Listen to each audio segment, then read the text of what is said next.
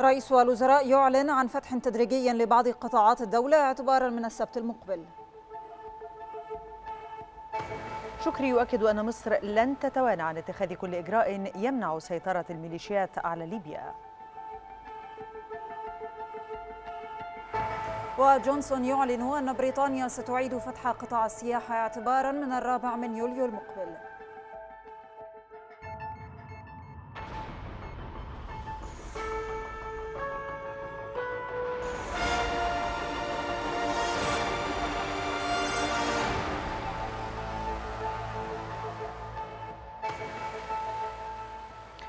الثالثة عصرا الواحدة بتوقيت جرينتش نشرة إخبارية تأتيكم من القاهرة. مرحبا بكم.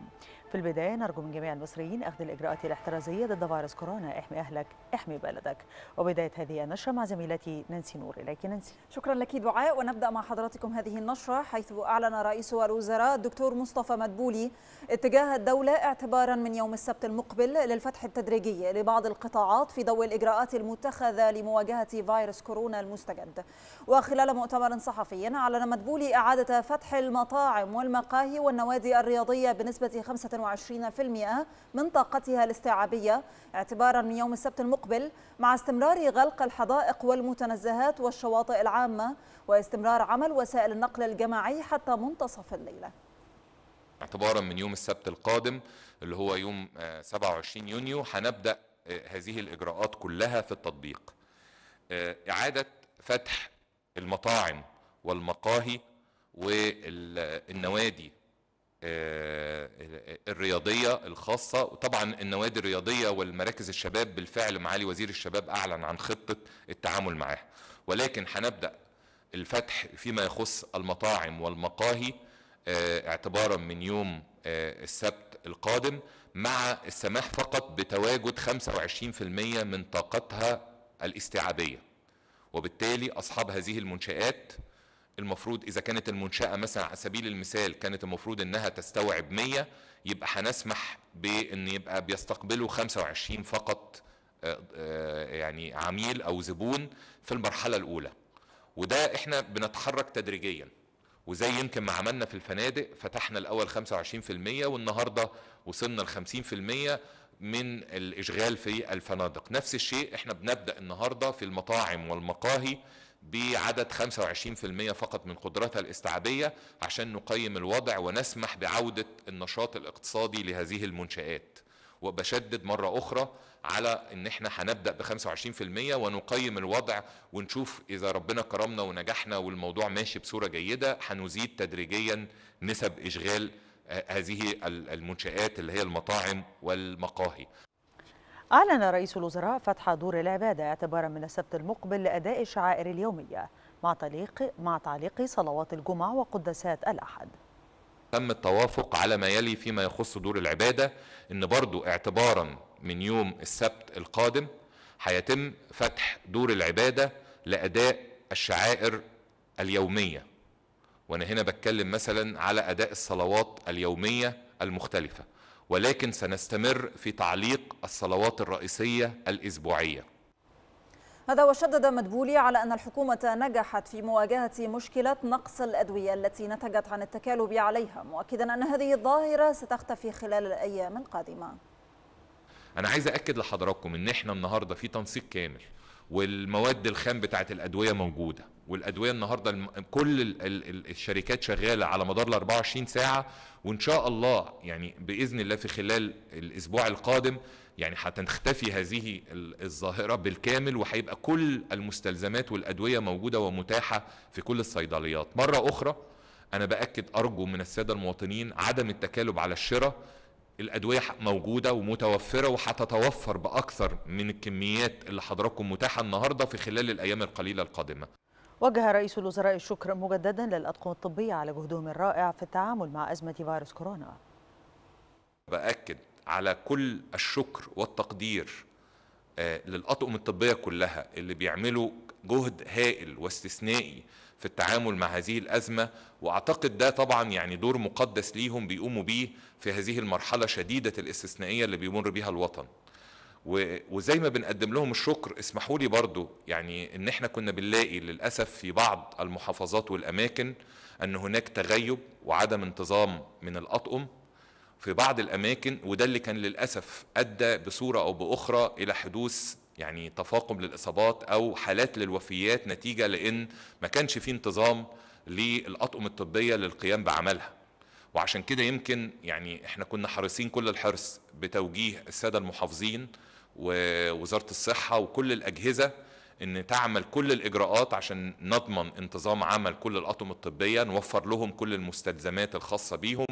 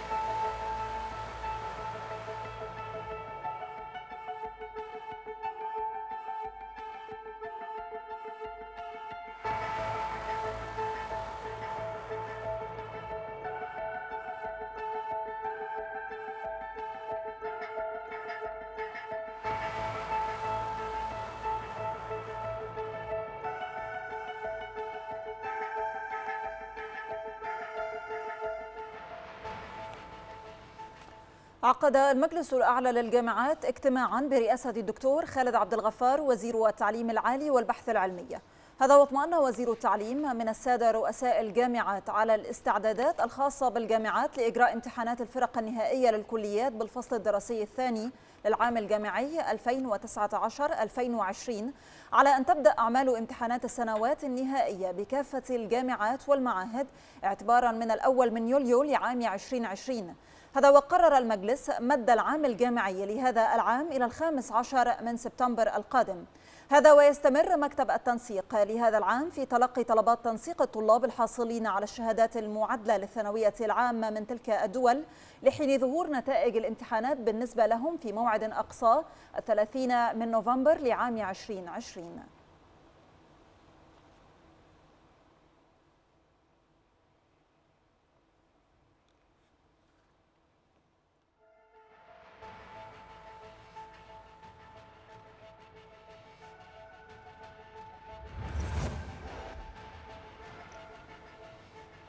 أكد وزير الخارجية سامح شكري على عدم تواني مصر عن اتخاذ كل إجراء كفيل بمنع وقوع ليبيا تحت سيطرة الجماعات الإرهابية والميليشيات المسلحة.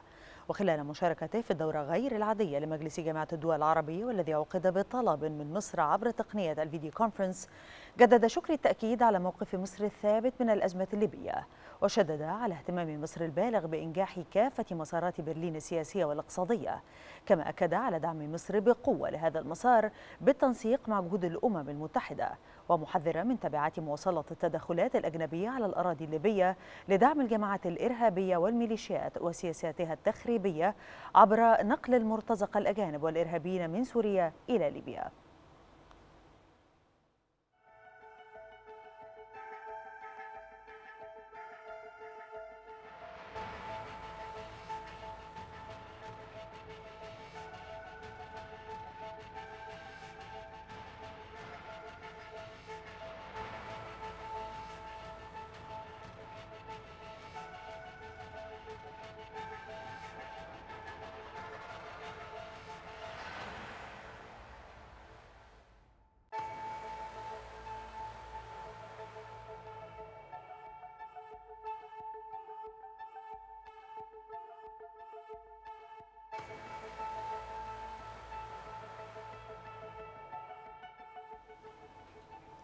طالب وزراء الخارجية العرب في ختام اجتماعهم الطارئ بسحب كافة القوات الأجنبية الموجودة على الأراضي الليبية وداخل المياه الإقليمية الليبية.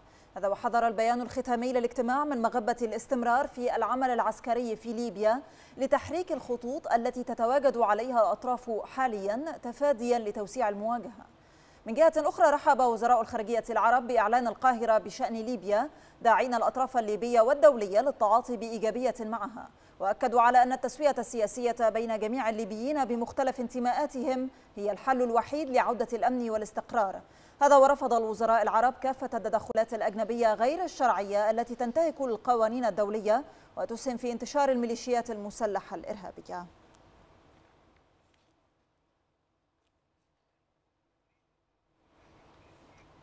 أكد الأمين العام لجامعة الدول العربية سفير أحمد أبو الغيط رفض أي مخططات محلية كانت أو أجنبية لتقسيم ليبيا إلى مناطق نفوذ وإحداث شرخ دائم في النسيج المجتمعي الليبي. وخلال كلمته في الاجتماع الطارئ لوزراء الخارجية العرب أدان أبو الغيط كافة أشكال التدخلات العسكرية الأجنبية في ليبيا كما شدد على الرفض المطلق لأي حلول عسكرية للوضع الليبي. طلب أبو الغيط بوقف إطلاق النار في ليبيا وإخراج المرتزقة والمقاتلين الأجانب من البلاد وتفكيك وتسريح الميليشيات المسلحة التي تعمل كلها خارج سلطة الدولة والحيلولة دون استمرار التدخلات العسكرية الأجنبية التي لا تهدف إلا لتحقيق أطماع ومصالح القائمين عليها. ومرحبا في الوقت ذاته بإعلان القاهرة لاستئناف الحوار السياسي الجاد بين الأشقاء الليبيين.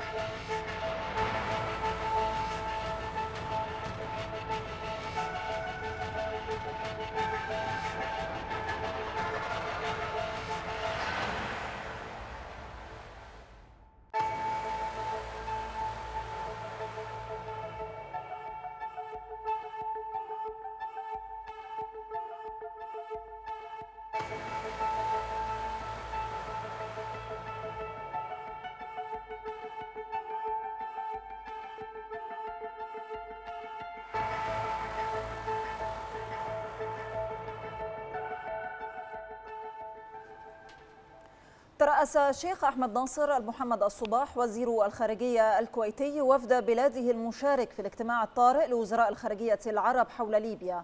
تم خلال الاجتماع التأكيد على التزام دول جامعة الدول العربية بوحدة وسيادة ليبيا وسلامة أراضيها ولحمتها الوطنية واستقرارها وصون أمن شعبها الشقيق. كما تم التأكيد على الدفع بالمسارات والمبادرات والجهود الدولية الرامية إلى وقف إطلاق النار وإنهاء العمليات العسكرية واستئناف العملية السياسية في الداخل الليبي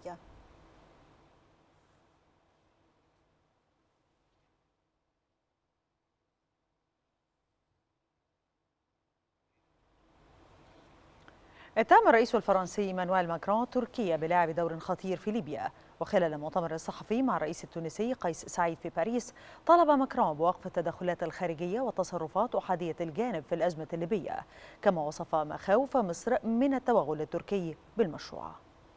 في ظل إجماع دولي على أهمية تحقيق السلام في ليبيا ومنع تحولها إلى مستنقع للإرهاب وتكرار السيناريو السوري تواصل تركيا خرق كل التزاماتها وتعهداتها وإفشال جهود الحل السياسي للأزمة الليبية. الرئيس الفرنسي إيمانويل ماكرون وجه عبارات تنديد قوية بالدور التركي في ليبيا. وأكد خلال مؤتمر صحفي مشترك مع الرئيس التونسي قيس سعيد أن تركيا تلعب دورا خطيرا في ليبيا ومتناقضا مع كل التزاماتها في مؤتمر برلين. قلت بوضوح كبير للرئيس أردوغان أنا أعتبر اليوم أن تركيا تلعب في ليبيا لعبة خطيرة وتنتهك كل التزاماتها بموجب مؤتمر برلين.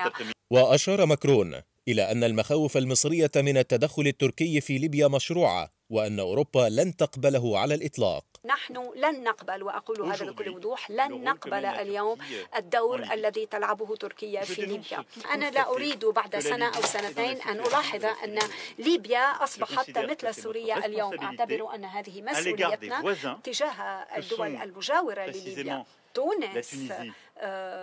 ومصر ولاحظت القلق المشروع للرئيس السيسي عندما يرى قوات تصل إلى حدوده. وأفكر أيضا بالتشاد وبالنيجر ولكني أعتبر أن هذا موضوع متوسطي يعنينا. وفي بروكسل اعتبر الممثل الأعلى للشؤون الخارجية بالاتحاد الأوروبي جوزيف بوريل. اعتبر التحركات التركية في ليبيا بأنها استخدام للغة القوة. مشيرا إلى أن أنقرة أرسلت سبعة آلاف من الجنود والأسلحة لتصعيد الصراع. هذه التطورات تأتي في وقت نشرت فيه صحيفة تاجست سايتونغ الألمانية تقرير فريق الأمم المتحدة المعني بمراجعة تنفيذ قرار حظر توريد السلاح والذي رصد خرق سفينتين حربيتين تركيتين للقرار ونقل سفن حاويات تركية لمنظومة صواريخ الدفاع الجوي ومدرعات إلى طرابلس. عبر دعم ميليشيات غير شرعية بالسلاح والمرتزقة تتعمد تركيا التصعيد في ليبيا في محاولة للوصول إلى منابع النفط والغاز الليبي ونهب ثروات الليبيين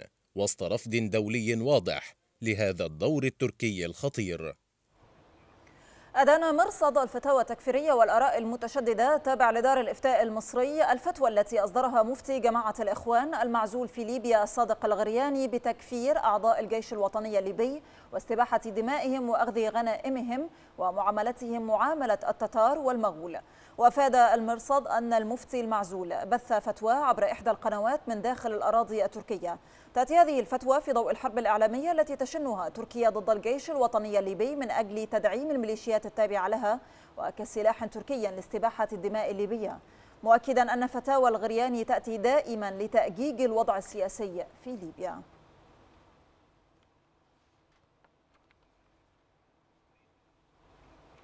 قالت وزارة الخارجية الروسية إن تقرير الأمم المتحدة بشأن وجود عسكري روسي في ليبيا استند إلى مصادر محل شك ومعلومات غير دقيقة وطلبت بالتحقيق فيه. فيما دعا وزير الخارجية الروسي سيرجي لافروف إلى وقف فوري لإطلاق النار في ليبيا وأشار إلى أن الأطراف الخارجية يجب أن توفر الأحوال المواتية لحوار شامل بين الأطراف المتصارعة في ليبيا كما أكد على عدم وجود حل عسكري للصراع الدائر.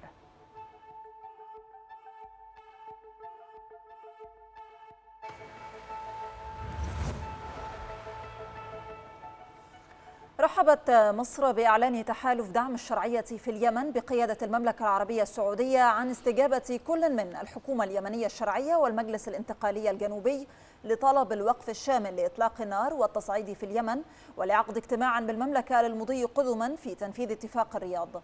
وفي بيان للخارجية ثمنت مصر على الجهود الحثيثة للأشقاء في السعودية الداعمة لليمن وشعبه الشقيق. معربة عن ثقتها في أن تؤدي تلك الجهود إلى تهيئة الظروف الملائمة لاستئناف العملية السياسية بين الأطراف اليمنية بهدف التوصل إلى حل سياسي شامل للأزمة مؤكدة على دعم مصر لكافة الجهود التي تهدف لتحقيق السلام والأمن والاستقرار في اليمن وتضمن وحدته وسلامة أراضيه وترفع المعاناة عن الشعب اليمني. أعربت مصر عن إدانتها الشديدة لقيام الحوثيين باستهداف المناطق السكنية والمدنيين بمدينتي نجران وجيزان بالسعودية وذلك عبر إطلاق عدد من الطائرات المفخخة بدون طيار وعدد من الصواريخ البالستية والتي تم اعتراضها وإسقاطها جميعا من قبل القوات المشتركة لتحالف دعم الشرعية في اليمن. أكدت وزارة الخارجية على تضامن مصر الكامل حكومة وشعبا وعلى وقوفها مع حكومة وشعب السعودية الشقيقة في مواجهة أي محاولة لاستهداف أمنها واستقرارها. ودعم مصر المملكة في كل ما تتخذه من إجراءات في مواجهة الإرهاب الغاشم.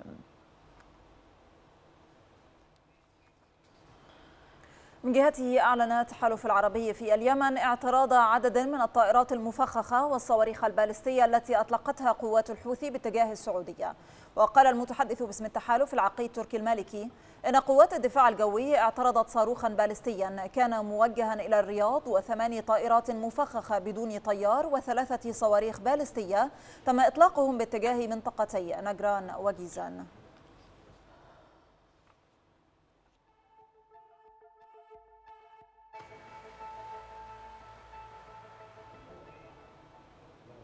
أعلن وزير الخارجية السوري وليد المعلم في مؤتمر صحفي أن الهدف الحقيقي من فرض الولايات المتحدة قانون قيصر على دمشق هو فتح الباب لعودة الإرهاب كما كان في 2011 ومؤكدا التزام الحكومة بالمسار السياسي لحل الأزمة السورية.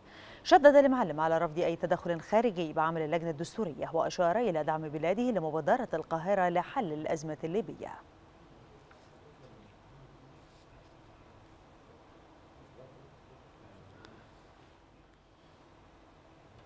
أعلنت خلية الإعلام الأمنية العراقية أن الطيران الفرنسي نفذ ضربات جوية استهدفت مواقع لداعش في محافظة صلاح الدين.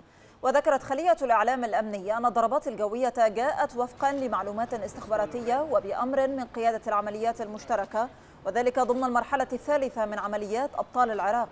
هذا وأطلقت السلطات العراقية المرحلة الثالثة للعمليات لتطهير مناطق بمحافظة صلاح الدين والحدود الفاصلة مع قيادات عمليات ديالى وسمراء وكركوك.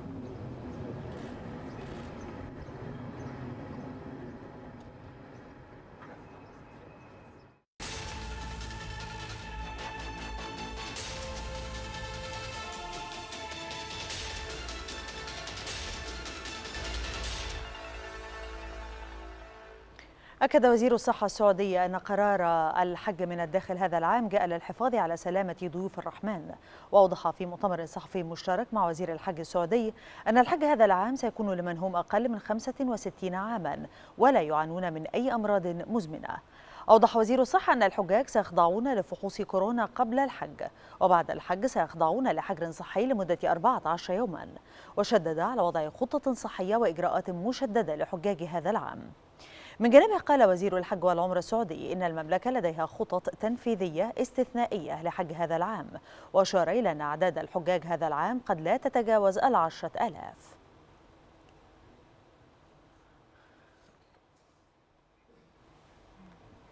أعلنت الإمارات عن تسجيل 380 حالة إصابة جديدة بفيروس كورونا المستجد من جنسيات مختلفة.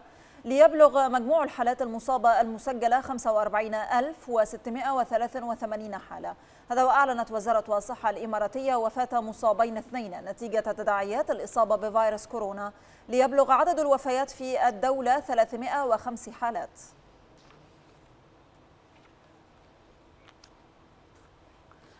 أعلن سلطنة عمان عن تسجيل 1318 إصابة جديدة بفيروس كورونا المستجد ليبلغ العدد الإجمالي للإصابات بالوباء في البلاد 32394 وقالت وزارة الصحة بسلطنة عمان إنه لم يتم تسجيل حالات وفاة جديدة بالوباء في البلاد ليستقر عدد الوفيات عند 140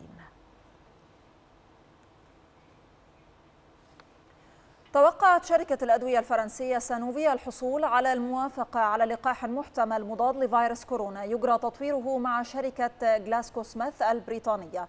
وقالت الشركة أن اللقاح سيكون متاحا في النصف الأول من عام 2021 مشيرة إلى أن لديها القدرة على إنتاج ما يصل إلى مليار جرعة سنويا من لقاحها المذكور.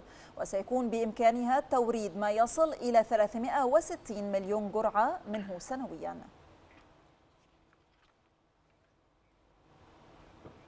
وافقت الصين على بدء تجريب لقاح محتمل لفيروس كورونا على البشر وحصل اللقاح المحتمل على شهادة من الإدارة الوطنية للمنتجات الطبية لبدء التجارب السريرية.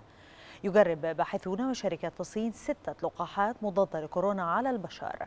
وهناك أكثر من 12 لقاح مضاد للفيروس في مراحل مختلفة من التجارب السريرية حول العالم.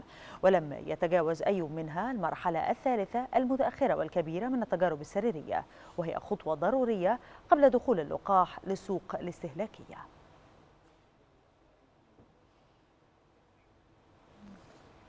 أعلنت ألمانيا للمرة الأولى إعادة فرض الحجر على مستوى محلي بسبب فيروس كورونا. وقال رئيس وزراء مقاطعة شمال الراين إن هذا الإجراء تم اتخاذه بعد ظهور بؤرة إصابة في مصنع للحوم بإحدى المناطق بالمقاطعة. موضحا أنه البؤرة أو موضح أن البؤرة تم اكتشاف بها أكثر من 1500 إصابة.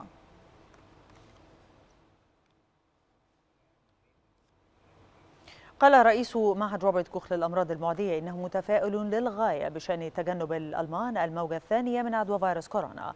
أعرب عن تفاؤله بحقيقة أن المواطنين في ألمانيا يعرفون قواعد التباعد الاجتماعي نافيا حدوث أي تغيرات كبيرة في الأوضاع الفترة القادمة في ألمانيا أو مستويات العدوى.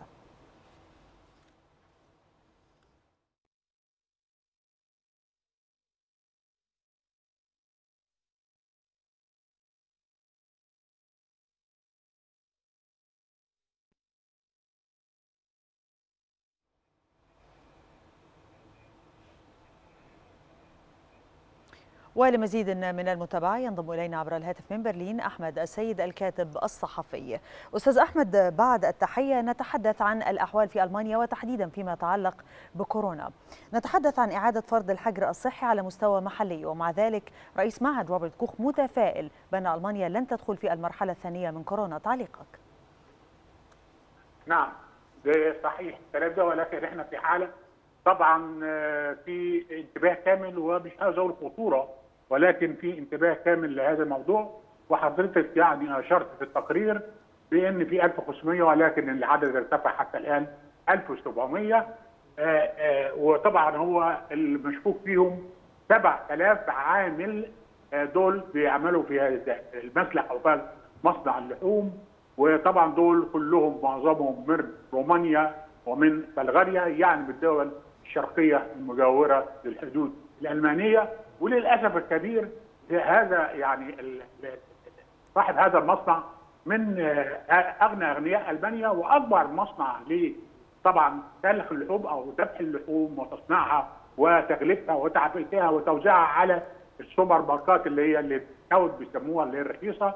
وطبعا يعتبر راجل له طبعا مصانع أخرى وقد أقفل صباح اليوم قبل ست ساعات مصنع له طبعا في ولاية بافاريا في مدينة بامبرغ وده مصنع كبير جدا بيعمل فيه أكثر من 1500 نعم اذا هذه الإصابات نتيجة لنشاط المصنع أم هناك إجراءات احترازية لا يتخذها هذا المصنع أم ماذا؟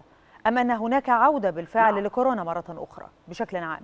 نعم أول حاجة إحنا عارفين كلنا وكل الناس بتعرف في العالم كله بأن هذا الفيروس بيأتي على الرطوبة بياتي على الجو البارد جدا فهذا المصنع درجة حرارته لابد لا تزيد عن من 7 إلى 10 درجات مئوية. فطبعا الفيروس موجود داخل المصانع وبعدين بيشتغلوا بدون أي جوانتات بدون أي طبعا وقاية للوجه وكلهم بيقعدوا متسقين ببعض. حتى في فترة الراحة بتاعتهم في الكافتريات بتاعتهم ملتقين ببعض. يعني الصور دي طبعا معملة وطبعا في كارثة في كارثة كبيرة جدا. الجيش موجود هناك الشرطة موجودة هناك الدفاع المدني موجود المديريات الصحية علماء الفيروسات والعدوى موجودين. حتى الآن 24 ساعة حالة استنفار في هذه البلد والبلد الأخرى. ودي بلد كبيرة جدا جدا. عدد تعداد سكانها تقريبا 50000 نسمة على على حوالي تقريبا حوالي 50000 كيلو متر مربع يعني بحوالي 560 نسمه على كيلو متر مربع وطبعا جميع نعم، المدارس نعم. قفلت والمستشفى وجميع المحلات وده طبعا شيء طبعا خسارة كبيرة على البلد ولكن سيحاسب هذا صاحب المصنع وبالنسبة لألمانيا طبعا نعم. اتخذت القرار زي ما حضرتك قلتي في التقرير بإن فعلا في قرارات تتخذ النهارده ومنها مدينة برلين قد آه، فرضت غرامات على الذين لا ي- طبعا نعم. يقوموا بتغطية أوجههم طبعا بالاهتمامات نعم. وطبعا غرامة كبيرة جدا في الامان اتفضل. نعم. أستاذ أحمد السيد الكاتب الصحفي من برلين شكرا جزيلا لك.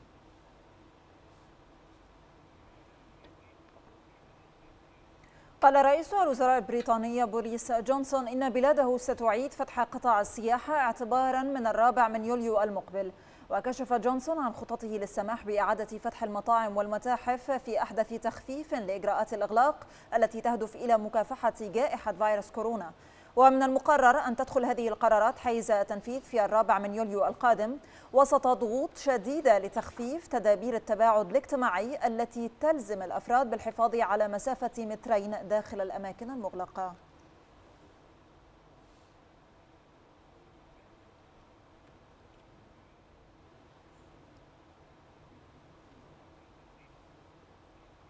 عبر الهاتف المزيد من المتابعة من لندن ينضم إلينا سيد محسن حسني المحلل السياسي أستاذ محسن أرحب بك معنا في هذه النشرة أهلا وسهلا بكم وبالساده المشاهدين الكرام. إذا بريطانيا تعاود فتح أنحائها مرة أخرى ليس فقط في الداخل البريطاني ولكن أيضا في الخارج نعم.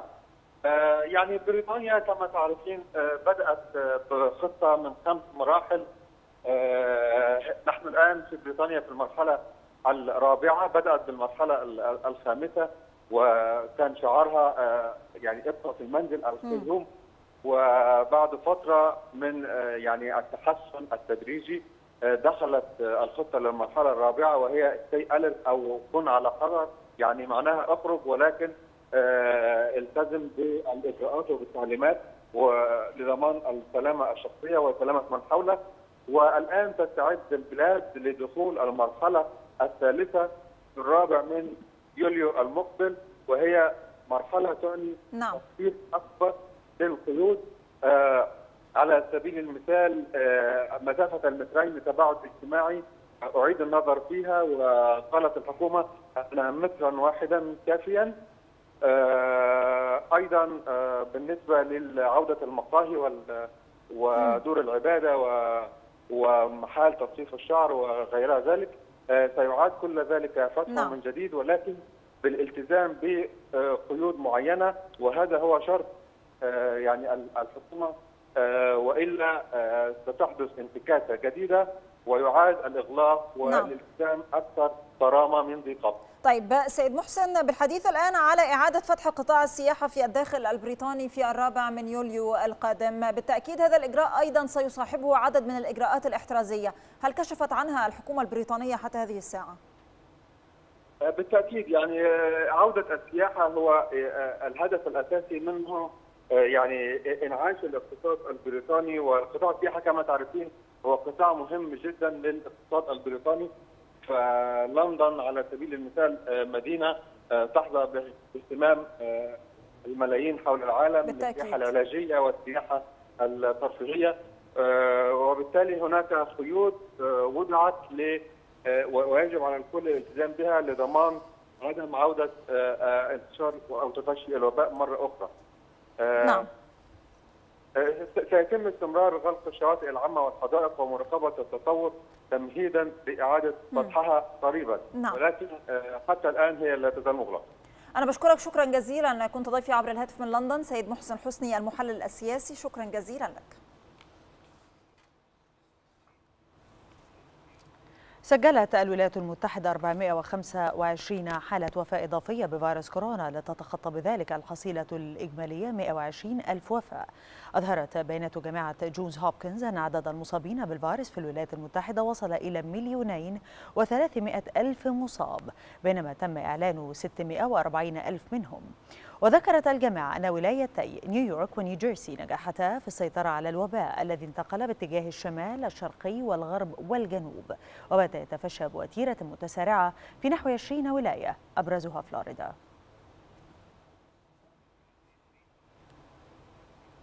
قفزت الإصابة المسجلة بفيروس كورونا في البرازيل إلى مليون ومائة ألف حالة بعد تسجيل 21432 إصابة جديدة خلال يوم واحد.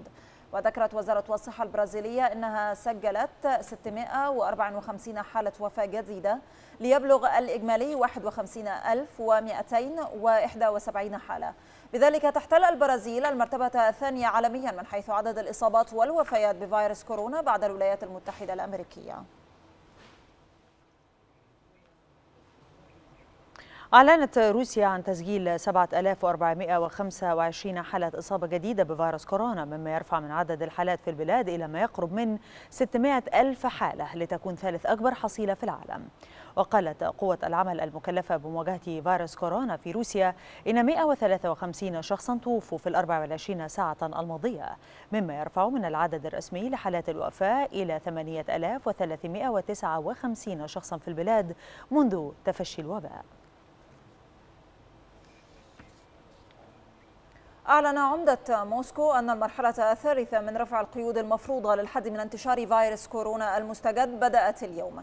وأوضح عمدة موسكو أن المقاهي والمطاعم ستستأنف العمل مرة أخرى بعد ثلاثة أشهر من التوقف وستفتح أبواب الصالات الرياضية والمسابح والمجمعات الرياضية أبوابها كما ستتمكن المكتبات والمدارس التمهيدية من العمل مرة أخرى. أعلنت وزارة الصحة الهندية عن تسجيل 14933 إصابة جديدة بفيروس كورونا المستجد ليرتفع إجمالي المصابين إلى 440215 حالة. وأوضحت الصحة الهندية أنه تم تسجيل 312 حالة وفاة مما يرفع إجمالي الوفيات إلى 14011 حالة منذ بدء تفشي فيروس كورونا في الهند. كما أشارت في الوقت ذاته إلى أن عدد حالات التعافي من الفيروس بلغت 248189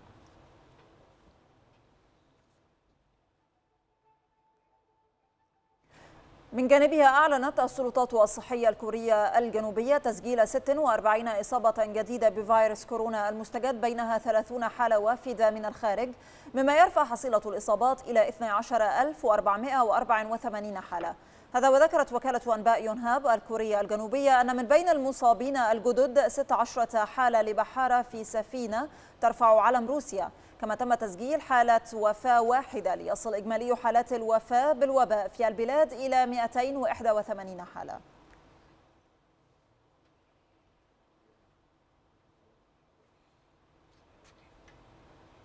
أعلنت وزارة الصحة المكسيكية اليوم الثلاثاء عن تسجيل 4577 إصابة مؤكدة جديدة بفيروس كورونا المستجد خلال الساعات الأربع والعشرين الماضية. وبذلك يرتفع إجمالي المصابين في المكسيك إلى 185122 حالة. أشارت الصحة المكسيكية إلى أنه تم تسجيل 759 وفاة جديدة بكورونا ليرتفع إجمالي الوفيات إلى 22584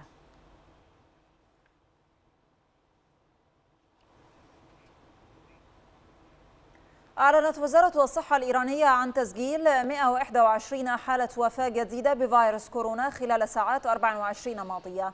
هذا وأعلنت الصحة الإيرانية عن تسجيل 2445 إصابة جديدة بالفيروس في مؤشر على استقرار وتيرة الوباء هناك. بذلك ترتفع حصيلة المصابين جراء الفيروس إلى 209970 إصابة فيما سجلت حالات الوفاة 9863 حالة.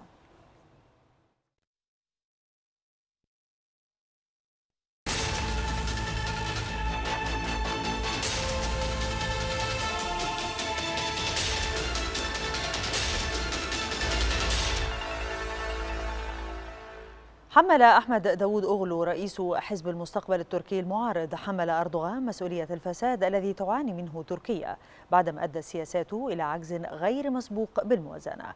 ومن جهة أخرى خرج المحامون في مسيرات للتنديد بتعديلات حزب أردوغان على قوانين انتخابات النقابات. كبار رجال أردوغان يستمرون في كشف فساده وممارسته الدكتاتورية.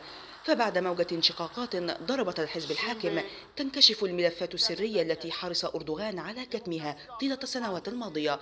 رئيس الوزراء التركي الأسبق أحمد داود أغلو واصل انتقاداته لأردوغان متهما إياه بالفساد في العديد من الملفات ومنها إجراء المناقصات والتخبط في إدارة الاقتصاد فضلا عن تدهور الحريات وتراجع الديمقراطية في البلاد.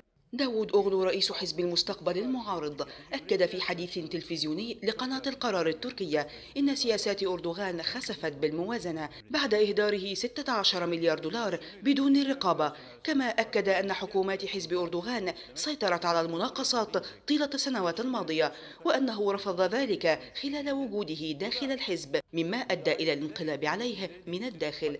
وفي الأثناء يستعد حزب الديمقراطية والبناء الذي يقوده علي باباجان لإنهاء الخطوة الأخيرة التي ستخول حزبه من المشاركة في الانتخابات الرئاسية والبرلمانية التي ستشهدها تركيا منتصف عام 2023 إن لم تتجه البلاد نحو الانتخابات المبكرة قبل موعدها المحدد.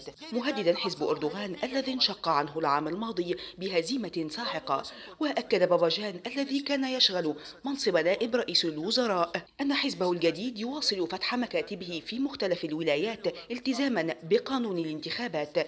وفي الشارع التركي تستمر حالة الغضب تجاه القرارات الفردية للنظام التركي حيث نظم مئات المحامين احتجاجات ضد مشروع قانون طرحه الحزب الحاكم للتحكم في انتخابات نقابة المحامين بهدف السيطرة على المنتقدين للنظام. وأكد بيان للنقابة أن تغييرات أردوغان على القانون ستؤدي إلى السيطرة على النقابات في البلاد بأكملها وتتعارض مع مبادئ حقوق الإنسان وتجر القضاء إلى الفوضى والانهيار. وفي المقابل قمعت الشرطة المسيرات بوضع متاريس على الطرق الرئيسية وأظهرت صور عناصر من الشرطة أثناء منعهم المحتجين من التقدم إلى وسط العاصمة أنقرة بينما وصف المحامون ما حدث بأنه يوم أسود في تاريخ تركيا.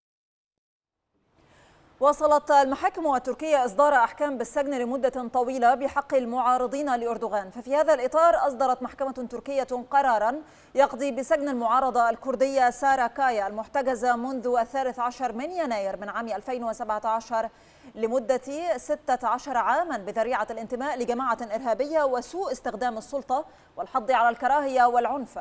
هذا واعتقلت سلطات أردوغان 93 من الرؤساء المشتركين لبلديات كردية. فازوا في الانتخابات ما قبل الأخيرة التي شهدتها البلاد عام 2014 وذلك بعد عزل 83 منهم آنذاك وتعيين وكلاء عوضا عنهم من قبل وزارة الداخلية التركية.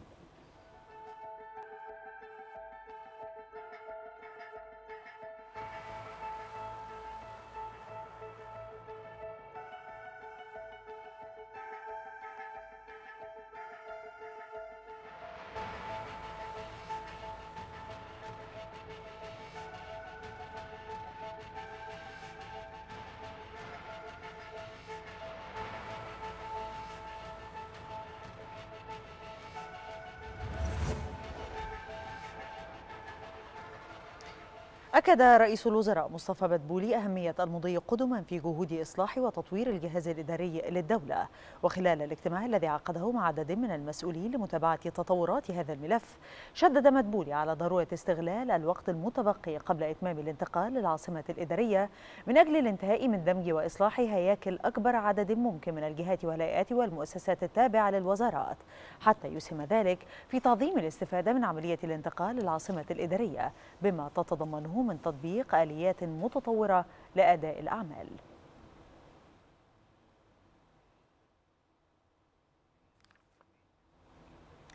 تحت رعاية رئيس الجمهورية أطلقت وزارة الداخلية المرحلة الثالثة عشرة من مبادرة كلنا واحد اعتبارا من الخامس والعشرين من الشهر الجاري وحتى العاشر من يوليو القادم.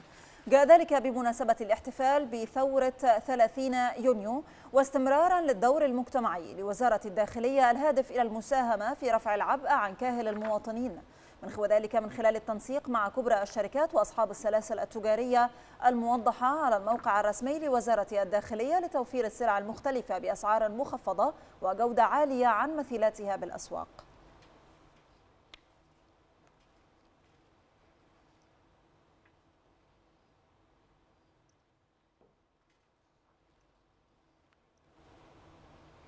تفقدت وزيرة الصحة والسكان الدكتورة هلا زايد مستشفى أم المصريين العام. يرافقها اللواء أحمد راشد محافظ الجيزة. وذلك في إطار متابعة سير العمل بمبادرة الرئيس لمتابعة وعلاج أصحاب الأمراض المزمنة. أوضح الدكتور خالد مجاهد المتحدث الرسمي للوزارة أن الوزيرة تفقدت مسارات الاستقبال المخصصة لكل من المرضى المصابين بفيروس كورونا وغير المصابين بالفيروس وشددت على ضرورة حصول المرضى على الإرشادات الخاصة بالعزل المنزلي ضمن حقيبة الأدوية والمستلزمات الوقائية.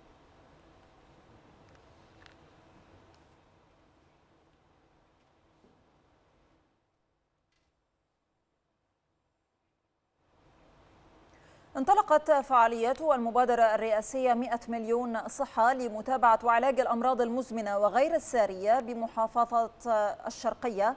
وتفقد وكيل وزارة الصحة بالشرقية الدكتور هشام مسعود فعاليات المبادرة الرئيسية بمدينة الزقازيق حيث أوضح أن المبادرة الرئاسية تقدم الخدمة لجميع المواطنين بالمحافظة من عمر 18 عاما فأكثر. وتأتي استكمالا للمبادرة الرئاسية 100 مليون صحة بهدف تقليل نسب الوفيات الناجمة عن تلك الأمراض وذلك من خلال متابعة الحالة الصحية للمرضى بشكل آمن. تم تنسيق وعقد اجتماع موسع مع السادة مديرين المستشفيات ومديرين الإدارات بعد الاجتماع بساعة مباشرة وتم وضع الآليات للتنفيذ وبدأنا امبارح بالفعل تنفيذ ده. خلاص من أول يعني منشأة أبو عمر روسان حسنية مرورا بقى بكل المستشفيات لحد ما نخرج من من محافظة الشرقية وإحنا معديين على بلبيس. أعلنت مديرية الشؤون الصحية بالإسكندرية عن بدء أعمال حملة متابعة وعلاج الأمراض المزمنة ضمن مبادرة الرئاسية 100 مليون صحة تحت رعاية الرئيس عبد الفتاح السيسي. تشارك مديرية الصحة بالإسكندرية في الحملة من خلال 20 وحدة مختلفة لاستقبال الحالات بينها 17 موقعا ثابت بالمستشفيات ووحدات الرعاية الأساسية وثلاث نقاط عيادات متنقلة وستقوم المشاركة في الحملة بالكشف وإصدار قرارات العلاج على نفقة الدولة وتجديدها وصرف علاج يكفي لمدة ثلاثة شهور مجانا.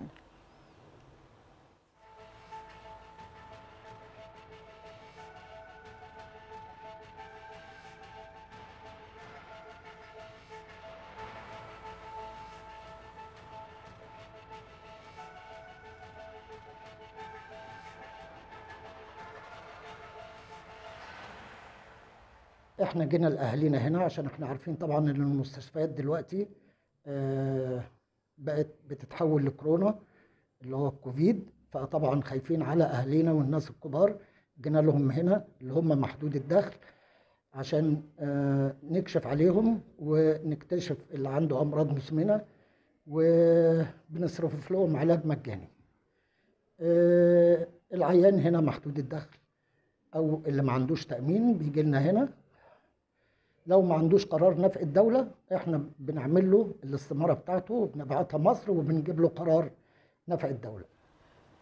عقدت اليوم عبر تقنية الفيديو كونفرنس الدورة غير العادية لمجلس جامعة الدول العربية على المستوى الوزاري لتناول قضية سد النهضة الإثيوبية. صرح المستشار أحمد حافظ المتحدث الرسمي باسم وزارة الخارجية أن وزير الخارجية سامح شكري أكد في كلمته خلال الاجتماع على ما تمر به قضية سد النهضة الإثيوبي من مرحلة في غاية الدقة في ضوء تعثر المفاوضات نتيجة للمواقف الإثيوبية المتعنتة وهو ما قامت مصر في ضوئه بالتحرك إلى مجلس الأمن لإخطاره بتطورات هذه القضية وتأثيرها على الأمن والسلم الإقليمي والدولي. مع مطالبته باتخاذ ما يلزم من إجراءات لحث كل الأطراف نحو العودة إلى المفاوضات بحسن نية والامتناع عن أي إجراءات أحادية. هذا وأضاف المتحدث باسم وزارة الخارجية أن الوزير شكري استعرض ما شهدته جولات التفاوض الأخيرة التي دعا إليها السودان الشقيق مشكورا وبحضور المراقبين الدوليين من تعثر واضح نتيجة لتصلب مواقف الجانب الإثيوبي حول العديد من النقاط القانونية والفنية الجوهرية والتي عددها الوزير لإطلاع الوزراء العرب على تفاصيلها. وكذلك تمسك إثيوبيا بالبدء في ملء خزان سد النهضة دون التوصل إلى اتفاق على قواعد الملء والتشغيل مما يمثل انتهاكا صريحا لالتزامات إثيوبيا القانونية الدولية بموجب قواعد القانون الدولي. واتفاق إعلان المبادئ الموقع بين الدول الثلاث في الثالث والعشرين من مارس لعام 2015 والذي نص في مادته الخامسة على الالتزام بالتوصل إلى اتفاق على الملء والتشغيل. كما ألزم إثيوبيا في مادته الثالثة بعدم إحداث ضرر جسيم لدولتي المصب. في هذا الإطار أكد الوزير شكري في كلمته على مناشدة مصر كل الدول العربية الشقيقة على دعم تحركاتها في هذا الملف الحيوي الذي يؤثر على مقدرات أكثر من 150 مليون مواطن يعيشون على ضفاف نهر النيل في كل من مصر والسودان.